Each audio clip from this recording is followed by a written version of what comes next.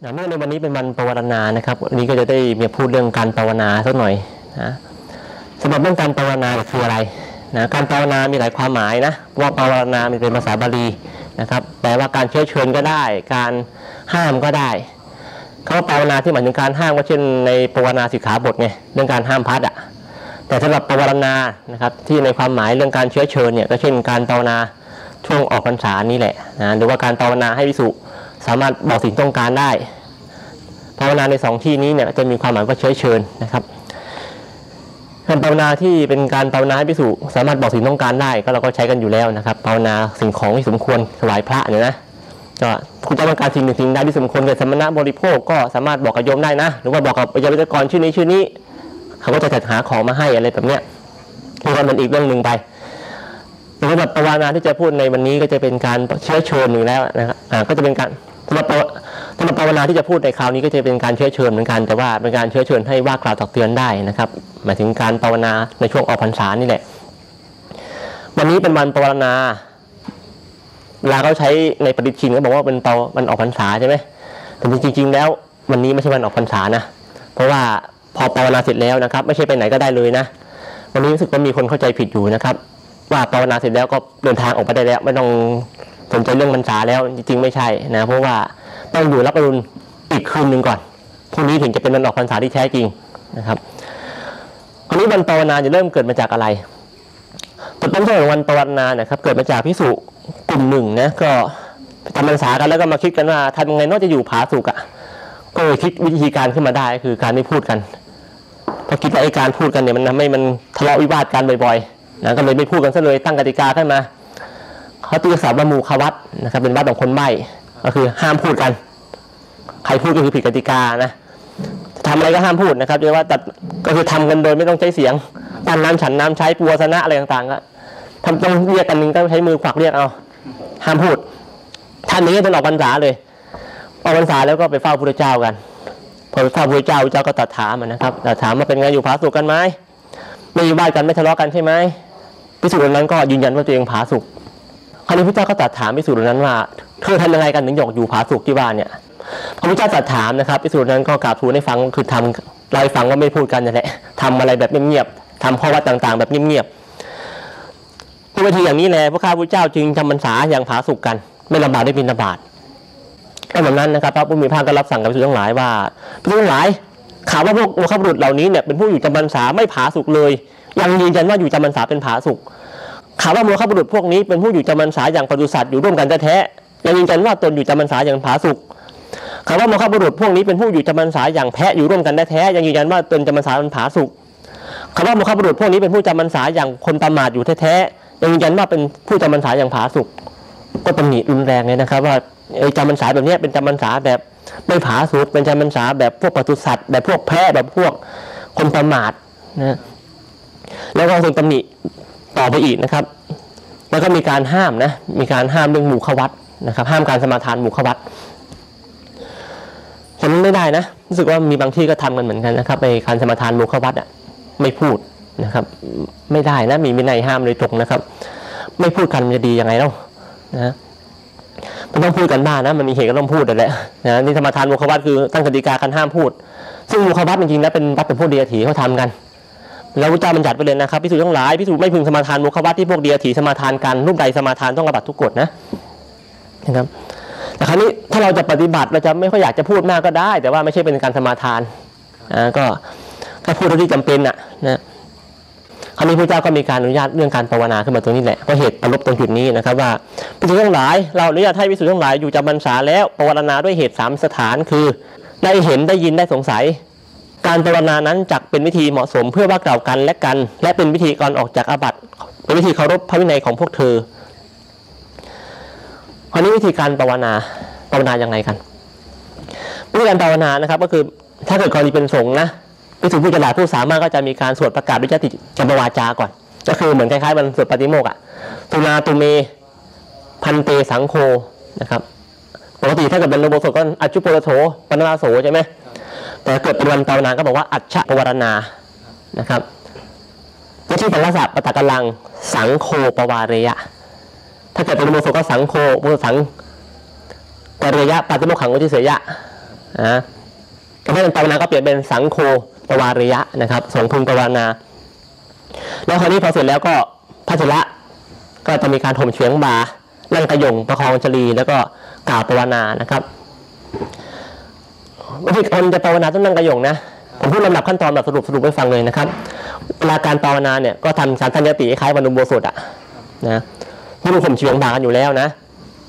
ทีนี้ก็ภาวนาไปตามพรรษาต้องนั่งกระยงทุกรูปนะอันนี้แต่างจากเรื่องอุโบสถนะครับอุโบสถปกติเน้นนั่งกระยงเฉพาะตอนสวดยติ แต่ภาวนาไม่ใช่ทุกรูปตั้งกระยงหมดเลย พอภาวนาตามพรรษาไปเรื่อยๆนะครับใครภาวนาเสร็จแล้วนั่งได้แล้ว นะตอนแรกก็ไม่มีบัญญัติอย่างนี้ตอนแรกพุทธบัญญัติตอนแรกคือนั่งกระยงจนกว่าจะเสร็จทุกรูป ปรากฏว่าคราวนี้พระบางรูปท่านไม่ไหวถือว่าเป็นลมเลยนะนั่งกระยงนั่งกระยงคือนั่งยองๆอะนะครับนั่งกระยงในวินัยไม่ใช่ไปถึงนั่งคุกเข่านะครับอันนี้เคยพูดให้ฟังไปบ้างแล้วนะแต่เป็นบทความนะตอนนั้นอธิบายเรื่งกระยงนิดนึงนั่งกระยงเนี่ยไม่ได้หมายถึงนั่งคุกเข่านะในวินัยมันนั่งกระยงยองนะครับเพราะว่าดูจากหลายๆที่มันสื่อถึงอย่างนั้นนะครับ เช่นในปฐมภาวนาสิกขาบทจะมีพูดถึงการ ยังไม่เปลี่ยนเรียบทสามารถนั่งฉันมันอยู่ในบทใดก็ฉันไปจนกว่าจะเสร็จได้นะก็มีถึงวิสูตรนั่งยองๆฉันอยู่ไอ้นั่งกระยงฉันอยู่นะถ้าเกิดมีคนเอาต่างมาลองที่ก้น ก็สามารถนั่งบนต่างนั้นก็ฉันต่อไปได้ ไม่ถือว่าเป็นการเปลี่ยนเรียบทเห็นไหมทำให้เห็นว่าถ้าเกิดนั่งกระโยงไปถึงการนั่งคุกเข่าแล้วมันจะเอาต่างมาสอดใต้ก้นยังไงอะอ่ามันก็นึกภาพไม่ออกที่จะเป็นอย่างนั้นไปได้นะครับ มันก็ทำให้เห็นว่านั่งกระโยงที่ว่าในวินัยเนี่ยมาถึงนั่งยองๆนะ คราวนี้ในต้นบัญญัติตอนแรกที่บัญญัติเนี่ยไอ้นั่งยองๆไปเรื่อยๆพิสูจน์มันจะเสร็จนะพิสูจน์พชระไม่ไหว มันเมื่อยมันไม่ไหวนะครับ ก็เลยบัญญัติเป็นอนุบัญญัติต่อมาว่า ให้พิสูจน์ที่ภาวนาเสร็จแล้ว นั่งบนอาสนะได้คือนั่งพับเพียบนั่งอะไรก็ว่าไปนั่งขัดสมาธิก็ได้จริงก็ไม่ผิดหรอกนะครับแต่ต้องภาวนาเสร็จก่อนเพราะนั้นคนลำบากจริงๆก็คือพระนวากาศเนี่ยแหละพอจะถึงตัวเองทั้งบุญพาเป็นร้อยๆใช่ไหมพระนวากาศลำบากเขาหน่อยเพราะมันรอนาน นั่งไปรอก่อนพระเทระตามดับไปเนี่ยวิธีการภาวนาก็ท่องได้อย่างเรา สังกรรมมันเดียวสังคำพันเตปวาเรมิ ที่เถนวาสุเตนวาปริสังกายวาปทันตุมังอายสมันโตนุกรรมบังอุปาทายะปสันโตปฏิกริสามินะครับนี่การภาวนาต่อสงฆ์นะก็แปลว่าพวกท่านทั้งหลายนะอ่าสังคมพันเตปวาเรมินะ ผมภาวนาต่อสงฆ์ด้วยเรื่องที่เห็น เรื่องที่ได้ยิน เรื่องที่สงสัย พระทันตุมังว่าทันตุมังอายสมันโต ถ้าเกิดท่านเห็นอะไรบนที่ว่าเนี่ยนะท่านก็จงบอกกล่าวกับผมเพื่ออนุเคราะห์กับผมนะครับ ผมก็จะทำคืนอย่างนั้นนะนี่เป็นการภาวนาก็คือภาวนาให้ว่ากล่าวตักเตือนกันได้นั่นเอง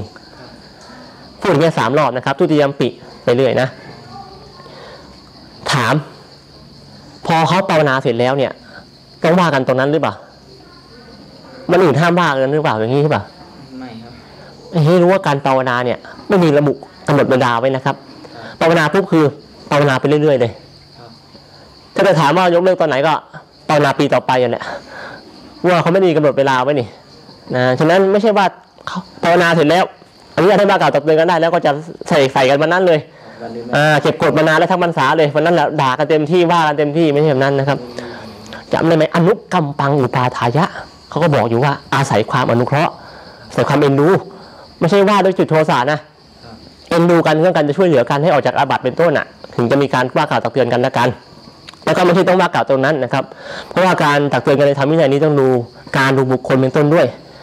สถานที่ท่ามกลางสงฆ์จริงๆไม่เหมาะในการจะไปตักเตือนว่ากล่าวตรงนั้นนะท่ามกลางสงฆ์อะ ก็เอามาพูดในข้างนอกและบางเรื่องเนี่ยมันสามารถ มันเป็นเรื่องที่ส่วนตัวนะครับเป็นเรื่องที่ไม่ใช่เป็นต้องไปให้ไปกระจายข่าวต่อให้ทั้งวัดรู้เรื่อง ไม่ต้องไปเหมือนเป็นการประจานนะครับบางทีก็ไปว่ากันท่ามกลางที่ประชุมที่พาร์ทเป็นร้อยๆเป็นหลายสิบรูปต้องฟังเรื่องเข้าไปด้วย ถ้าบางทีมันสามารถไปเตือนกันส่วนตัวได้นะแต่ว่าการภาวนาเนี่ยเป็นสาธกรรมไงมันต้องทำท่ามกลางสงฆ์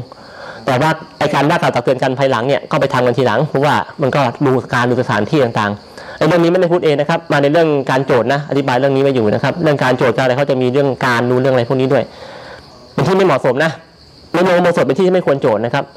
พวกในโรงอโบสถในหอฉันในอะไรแบบเนี้ยมีพูดไปหลายที่อยู่นะครับเพราะนั้นก็ไม่ใช่ทำคลังสงฆ์อย่างเงี้ยนะครับไม่ใช่ที่ที่เหมาะที่ไปว่ากล่าวกันตรงนั้น แต่ว่าในหลาย ๆ วัดก็มีการทำประเพณีแบบนี้ไปแล้วนะครับปันเปานาเป็นวันที่ในโอกาสและเล่นงานกันนะแต่ว่าถามถ้าเกิดเจอบ้านตรงนั้นก็ถ้ามีการขอโอกาสถูกต้องก็ไม่มีอาบัติอะไรหรอกนะมีขอโอกาสแล้วก็อนุญาตกันแล้วนะครับเนี่ยตักเตือนนะครับก็ตักเตือนกันได้ ทีนี้จริงๆแล้วเรื่องการภาวนาเนี่ยนั่นแหละนั่งกระยงก็บอกไปเลยนะพอนั่งกระยงภาวนาเสร็จแล้วก็ก็เปลี่ยนไปตามดับอะปัจจุบันเสร็จพอแล้วก็ถึงใครพอแล้วก็นั่งกระยงไหมภาวนาแล้วก็พอเสร็จก็นั่งลง แล้วตามพรรษาไปเรื่อยขึ้นมาก็ภาวนาเหมือนเดิมสังฆมันเตปวารณิมิเหมือนเดิม แล้วก็นั่งนะครับจริงๆในวินัยเนี่ยจะมีวิธีการภาวนาหลายแบบเราเรียกเป็นเทวาจิกะภาวนาเทวาจิกะภาวนาเอกวาจิกะภาวนาสมานะวาสิวาจิกะภาวนาอะไรแบบเนี้ย แต่ผมไม่พูดละเอียดตรงนี้ให้ฟังนะครับ เพราะว่าเราใช้แบบเดียวไปเลย คือใช้แบบภาวนาเทียรูปแบบนี้ถูกแล้ว เพราะภาวนาอย่างอื่นจะทำได้กรณีมันมีอันตราย มันมีเหตุจำเป็นบางอย่างที่ต้องรีบเออต้องรีบซึ่งถ้าเกิดการภาวนาเราทุกวันนี้ก็ไม่มีการใช้แบบนั้นสักทีนะ มันไม่มีเหตุนะครับ แล้วก็ภาวนาไปตามพรรษาจะถูกแล้วก็เทียรูปเทียรูปไปนะครับ ถ้าสำหรับวิสูที่อยู่ไม่ครบสงฆ์จำพรรษาแค่ สามรูปอะไรแบบเนี้ยสามรูปสองรูปหนึ่งรูปอะไรอย่างเงี้ยนะก็เป็นคำพูดเวลาภาวนาไป ถ้าสามรูปก็ตั้งใจติภาวนาด้วย แล้วก็ภาวนากันนะครับ แต่ถ้าเกิดสองรูปก็ไม่ต้องตั้งใจติภาวนากันได้เลยแต่ถ้ารูปเดียวใช้พรรษารูปเดียวทำไง ก็ภาวนาว่าอัจฉเมปวารณาทำไม่เสร็จแล้วนะครับไม่ต้องมาพูดอ่าสังฆมันเตปวารณีกับใครนะเพราะอยู่รูปเดียว ก็บอกว่าอัจฉเมปวารณาแปลว่าวันนี้เป็นวันภาวนาของข้าพเจ้าเสร็จว่าเสร็จเลยนะครับ โอกาสครับ ครั ถ้าบเกิดว่าสามรูปสองรูปหรือต้องตั้งสังคำมันเองถ้าสามรูปก็บอกว่าอาหารอาวุโสอัจฉสมันเตปวารเมิ ก็เป็นแต่คำว่าสังคำเป็นอัจฉสมันเต ถ้าสองรูปก็บอกว่าอัจฉสมันตังปวารเมิเพราะว่าพูดกับอีกรูปหนึ่งรูปเดียวไงนะใครจะเป็นบาลีมาจะอ๋ออ่าไอ้ทุติยพัฒน์อาจจะสมันตังใช่ไหมเป็นเอกพจน์อาจจะสมันเตเป็นผู้พจน์ไงนะครับรูปเดียวก็อาจจะไม่ภาวนาก็ผ่านเนาะ อ่าถ้าเกิดจำพรรษาครบแล้วนะครับ ไม่ยอมภาวนามีอาบัติไหมเป็นไรไหมมีมีนะครับมีอาบัติทุกกฎนะ นี่มาในภาวนาขันธ์อากาศชัดเจนนะครับใครเนี่ยสมมติรูปเดียวยังไม่ยอมมาได้ฐานเราคิดว่ามีแค่รูปเดียวภาวนาใครล่ะเลยไม่ยอมภาวนานะครับ ก็มีอาบัติทุกกฎไปอย่างนี้นะครับให้รู้ว่ามันลักษณะเดียวกับเรื่องอุโบสถเลย การภาวนากรรมเนี่ยก็คือไม่ทำไม่ได้นะครับ ไม่ทำไม่ได้ ไม่ทำมีอาบัติทุกกฎนอกจากมีอันตรายนะ คำว่าการภาวนาเนี่ยเราพูดแค่คร่าวๆอีกอย่างหนึงให้ฟังนะครับก็เป็นอ่านคำให้ฟังอีกทีนะการภาวนานะครับ แปลเป็นไทยง่ายคือว่าผมขอภาวนาต่อสงฆ์ด้วยเรื่องที่เห็นได้ยินหรือสงสัยก็ตามท่านทั้งหลายโปรดอาศัยความเอ็นดูว่ากล่าวตักเตือนกับผมเมื่อผมเห็นเห็นคือเห็นว่าความผิดนั้นแล้วเนี่ยก็อยากทำคืนนะครับคือจะแก้ไขตามสมควรจะทำนั่นแหละนะกล่าวสามครั้งแบบนี้แล้วคราวนี้วันภาวนานะมีทั้งหมดสามวันนะครับเป็นยังไง หนึ่งวันขึ้นสิบห้าค่ำเดือนสิบเอ็ดก็คือวันนี้เลยเป็นวันออกพรรษาตามปกติเรานี่แหละนะครับสองวันแรมสิบสี่ค่ำเดือนสิบเอ็ดก็คือถัดไปอีกหนึ่งอุโบสถนะครับตรงนี้เป็นกรณีไหนกรณีมีอันตรายก็เลยมีการเลื่อนไงนะสามวันขึ้นสิบห้าค่ำเดือนสิบสอง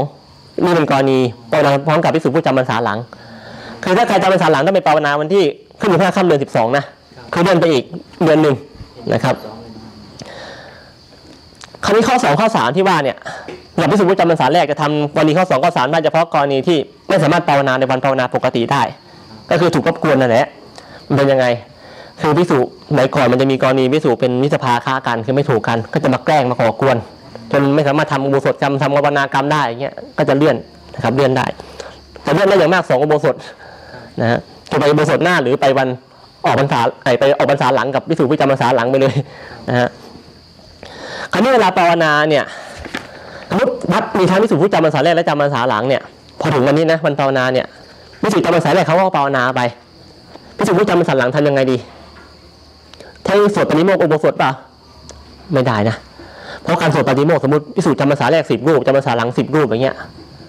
ถ้าพิสูจน์จำพรรษาแรกเขาตั้งยติภาวนาไปแล้วตามพรรษาไปแล้วนะครับพิสูจน์จำพรรษาหลังไม่ต้องไปภาวนาเขานะภาวนาไม่ได้เพราะว่าเด็กยังไม่ถึงยังจำพรรษาไม่ครบ เพราะยังจำพรรษาหลังนะครับ ก็ไม่แล้วก็ไม่ใช่ไปสวดปฏิโมกข์ด้วย เพราะสวดปฏิโมกข์ต้องมีการตั้งยติโบสถขึ้นมาสังอ่าจะมาเป็นพันเตสังโฆอะไรใช่ไหมฮะตั้งยติอุโบสถอะคราวนี้จำหลักไว้ว่าไม่สามารถตั้งยติสองครั้งในสีมาเดียวกันได้นะครับนี่มาในวินัยโดยตรงเลยนะเราไม่สามารถตั้งยติสองครั้งในโบสถเดียวกันได้นะครับ ก็ทำยังไงแทน ก็ไม่ต้องสวดโบสถแม้จะมีวิสูจเกินเกินสี่รูป ทำอุโบสถได้ก็จริงแต่ว่าไม่ต้องทำตรงนั้น ใช้การบอกปริสุทธิอุโบสถเอาครับอ่าบอกปริสุทธิเอาว่าอะไรปริสุทธิโธอาหังพันเตปริสุทธิโธติมังทะเลถะนะครับบอกปริสุทธิแทนนะครับบอกแค่ปริสุทธิจำพรรษาแรกคนนั่นแหละนะแต่ว่าตอนเอาสมมติอย่างนี้จำพรรษาแรกมีสามรูปจำพรรษาหลังมีห้ารูปจำพรรษาหลังนั้นมีมากกว่าปริสุทธิผู้จำพรรษาแรกควรตั้งสติภาวนาไหมครับ ตั้งได้นะ ก็คือพิสูจน์คนนั้นก็ร่วมทำการไปด้วยไงคือนับรวมพิสูจน์คนนั้นไปด้วยเพราะว่าถือว่าพิสูจน์เกินสี่นะครับ ก็เป็นคณะปุรกะได้เพียงแต่ว่าตอนสวดภาวนาว่าสังฆมันเตปวัตเดมิเนี่ยพิสูจน์กลุ่มหลังไม่ต้องมาสวดกับเขามาปริสุทธิอุโบสถเอา แต่ว่าเวลานับพิสูจน์ก็ต้องนับให้หมดเพราะการทำสังฆกรรมมันนับพิสูจน์ที่อยู่ร่วมสังฆกรรมไม่มีกี่รูปนะครับอ่าคราวนี้อันนี้เป็นการภาวนาจะว่าพิสูจน์ผู้จำพรรษา ครบเท่านั้นนะครับถึงมีสิทธิภาวนา ถ้าจำพรรษาแรกครบก็ภาวนาในวันมหาภาวนาคือวันขึ้น15ค่ำเดือน11ที่ว่าเนี่ยคือวันนี้ ถ้าจำพรรษาหลังก็ภาวนาในวันขึ้น15ค่ำเดือน12นะครับจากฐานมาห้ามตั้งยติสองครั้งในอุโบสถแห่งเดียวกันเนี่ยนะครับอันนี้มีในรัตกถาธรรมศัพท์สัตติกานะครับเล่มสามที่ร้อยห้าสิบเจ็ดนะณเอกสมิงอุโบสถเคทเวยติโยทเบตพานะครับคราวนี้ผมจะตอบปัญหาเกี่ยวกับเรื่องการภาวนาบ้าง มีคนถามปัญหามาเยอะเลยนะครับมาถึงใกล้วันภาวนาเมื่อไหร่ปุ๊บเนี่ยคือโหคำถามมาทั้งวันหรือหลายวันติดกันเลยนะแต่ละพัดอย่างกับกับเรื่องการภาวนานะครับ ว่าเช่นภาวนาที่อื่นได้ไหมสัตหะตอนมันภาวนาได้ไหมอะไรเป็นต้นนะนั่นเดี๋ยวจะตอบไปตามดับนะครับคราวนี้จะพูดให้ฟังเรื่องประโยชน์ของการภาวนาก่อน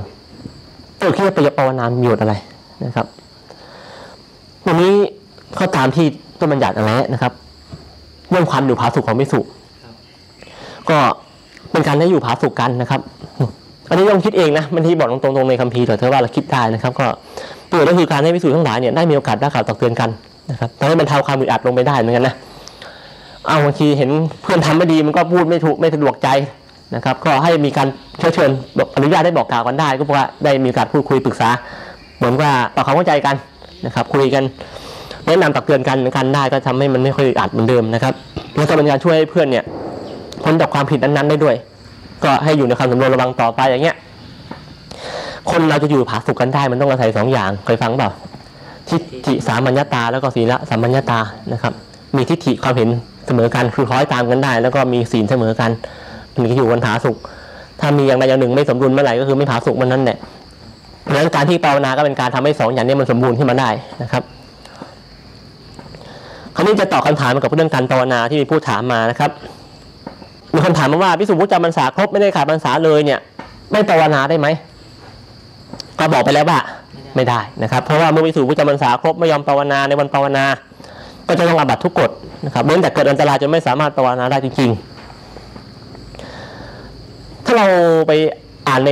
อัตถกถาหลายๆจุดนะครับท่านจะมีพูดคำนี้บ่อยมากเลย เวลาไปถึงจะสื่อถึงว่าพิสุผู้จำพรรษาครบอะจะบอกว่าพูดภาวนาในวันมหาภาวนา แต่คำนี้ให้รู้ว่าเจอคำนี้เมื่อไหร่ ไม่ได้หมายถึงว่าเป็นการภาวนาจริง ๆ แต่เป็นการสื่อถึงการจำพรรษาครบและไม่ขาดพรรษา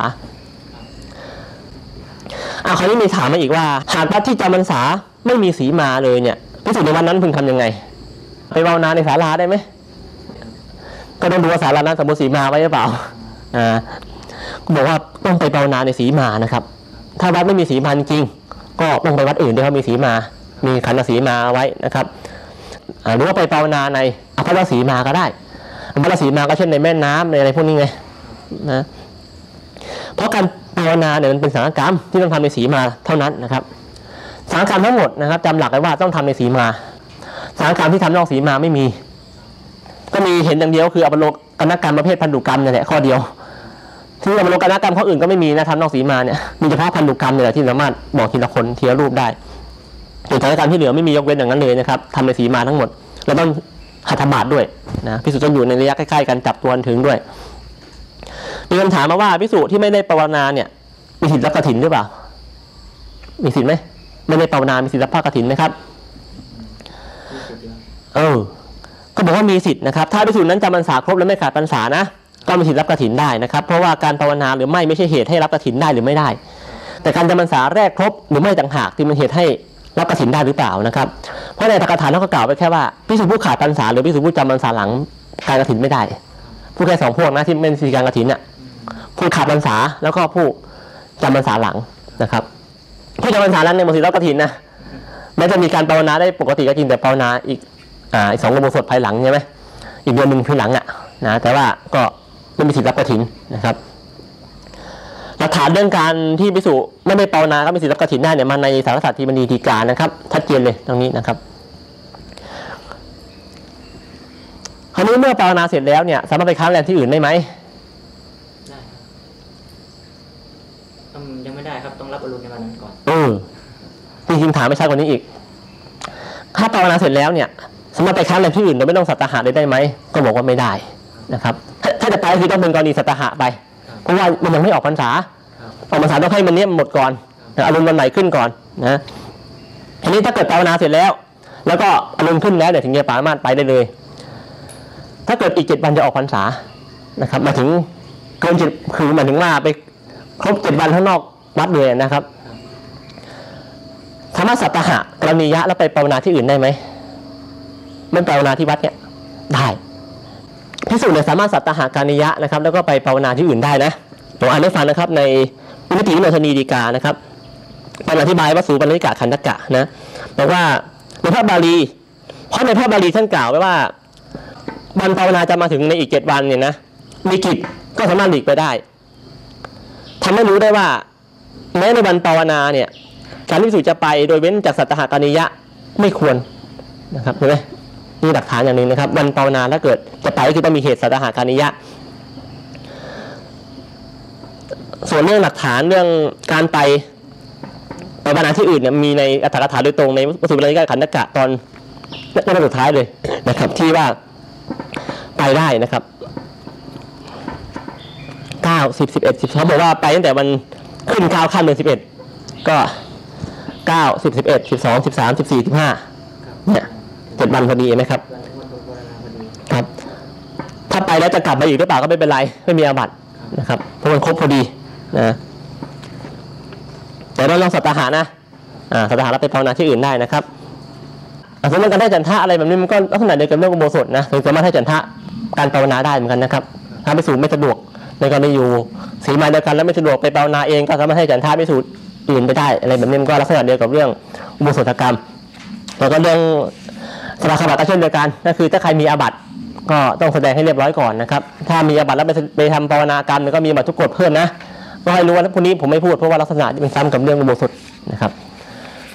ก็สรุปไปแค่นี้ครับเรื่องภาวนานะใครสงสัยก็ค่อยถามมาข้างใต้วิดีโอนี้นะครับ